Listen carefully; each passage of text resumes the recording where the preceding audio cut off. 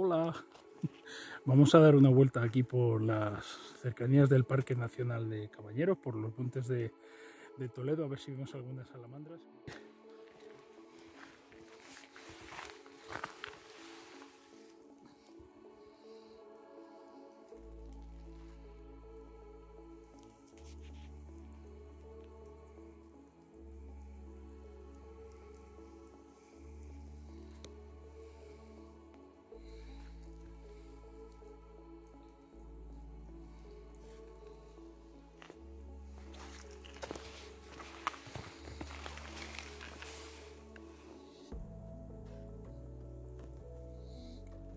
Preciosidad.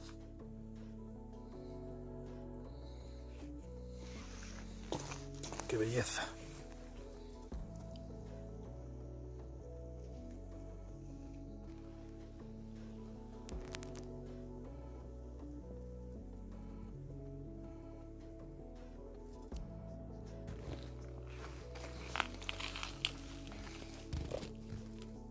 Parece una galaica y también es bastante grandecita.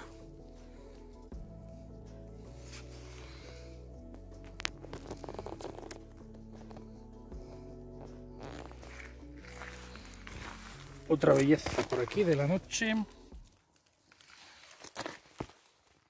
Aquí veis un macho, parece ser subido a una roca, tal cual in situ. Tiene una pajita aquí.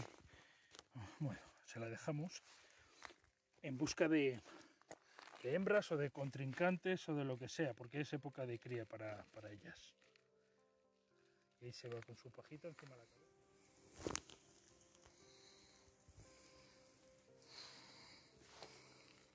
A ver esta. Más alargadita, muy bonita también.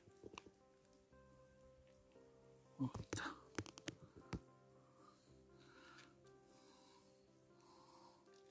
Tenemos otra que estaba en su atalaya y ha bajado. ¿Cuánto nos ha visto? Aquí tenemos otra bastante gorda. Esto es una hembra. Esto es una hembra embarazadísima. Como sabéis, las salamandras son las herbívoras en su mayoría, es decir, que desarrollan las larvas o los huevos, mejor dicho, dentro de ellas y luego pues se sueltan las larvas en el medio acuático más cercano que encuentren. Así que la salamandra es la herbípara. Cacho de hembra más bonita que lleva en su interior a las próximas generaciones. Preciosa. Otra que parece una hembrita. Qué bonitas son, madre mía.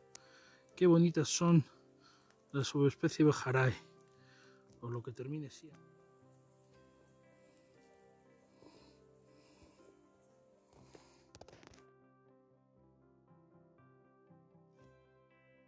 Segundo día. Mirar qué locura de bicha.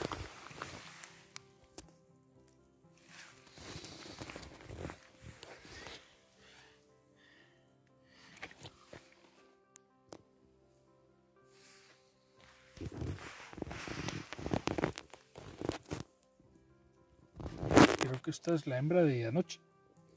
Aquí está. Otra noche más por aquí.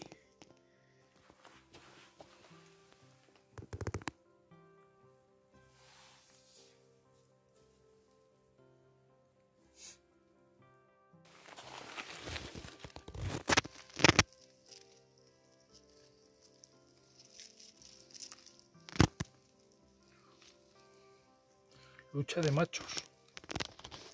Un macho intenta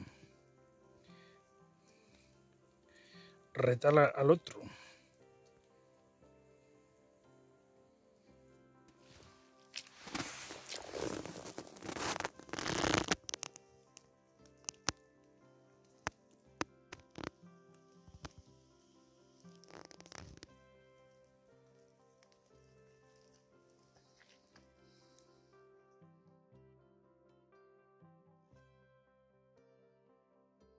Esta fuente, como veis, allí, ahí hay una salamandra. Y es que aquí, por suerte, tienen un sitio para, para dejar las, las larvas. Vamos a ver. Esto es otro valle distinto donde estábamos. de aquí de los montes de Toledo y mirad, pues otra salamandrita Bejarae que está aquí en esta fuente, que el agua está muy rica, por cierto, que bueno, pues habrá venido, a ver, sí, parece que está embarazadita, puede que, esté aquí ya dispuesta a poner los huevos, por ahí veo larvas ya también, veo bastantes larvitas, así que muy bien, vamos a dejarla tranquila, más allá de, de verla unos segundos y citarla y nada. Adiós, vamos a buscar más por, por este otro valle, a ver, a ver qué, qué morfos hay. Bueno, ahí hemos dejado la otra salamandra y es que justo he venido y acabo de ver esta otra. Parece otra hembra que está también de... Parece que está preñada o está grávida y, y se dirigía hacia allá. Así que bueno, pues vamos a ver. Y aquí hay otra, a ver, que tiene un patrón muy especial. Mirar. Mirar el patrón que tiene, que está como si tuviera una falta de, vamos a bajar la intensidad, de coloración en esta zona de aquí y en la cabeza. No es, parece ser que no es ninguna enfermedad ni nada, es simplemente pues que está, esta salamandra tiene esta coloración en estas zonas del, de la dorsal y de la, de la cabeza, de la parte superior. Así que mirar qué salamandra más interesante por esta coloración atípica, ¿no?